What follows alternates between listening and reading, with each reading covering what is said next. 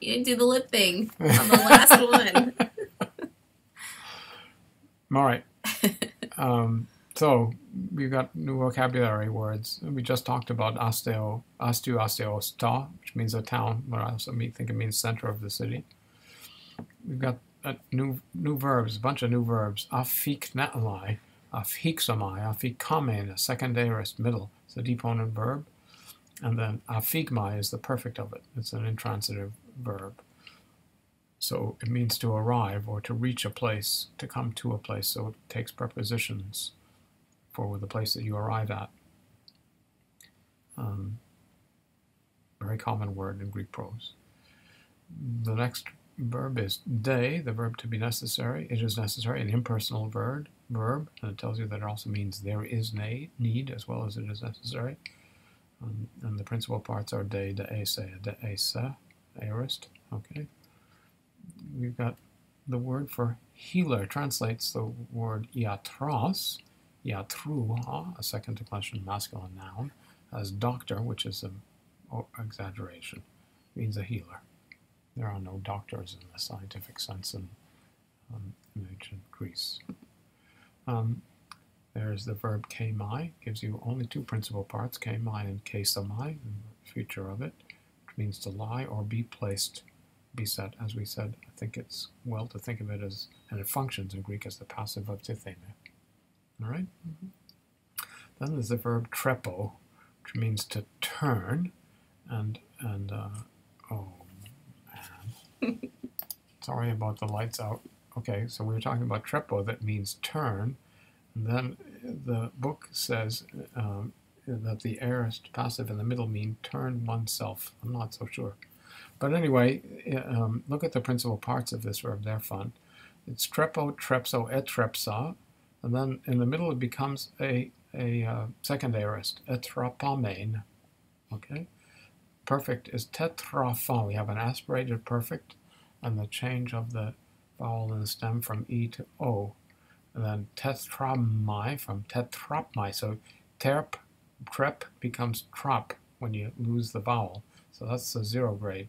So you've got trep, trough, and tra. Okay? And etrapane or etrefthane, etrapane is the old aorist passive with the same zero grade of the root, not, not originally terp, becomes trop. Okay? And then etrefthane is a renewed one. So it's important to distinguish that from the verb trefo, but uh, I don't think you'll ever confuse it. The forms don't overlap. Um, okay, uh, next word is the verb phino, very common verb in Greek, a really important one. Um, that means to show in the active transitive sense or cause something to appear. And in the middle, which is extremely common, it means to appear or seem. Okay, so the principal parts are going to. Phino, phano, contract future, ephena, pephena, pephasmai, and the phanane. Aorist passive is common. There's also an aorist passive attested to phanthane. It's a noble form. Um, so the the beautiful thing about it is uh, pointed out in the book that you you with this verb you can have either an infinitive construction or a supplementary participle. So the example it gives is phinatai kakos anai is on page 572, and phinatai kakos on. You want to write them down? Sure. Phinatai kakos anai.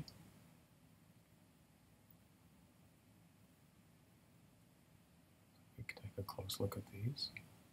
And phinatai kakos on. So in, in the first example, phinatai kakos anai, you've got phinatai, the middle form, with an infinitive, complementary infinitive.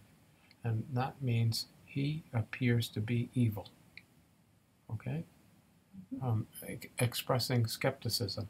Okay?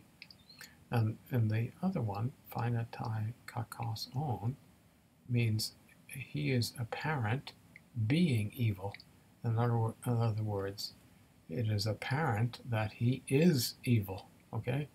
If you wish, the differences in meaning of the two constructions are one, one the, the verb to be is existential, and the other it's copulative. Okay.